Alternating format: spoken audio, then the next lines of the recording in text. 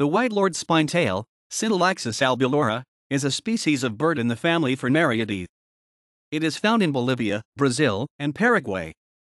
Its natural habitats are subtropical or tropical moist lowland forests and heavily degraded former forest. References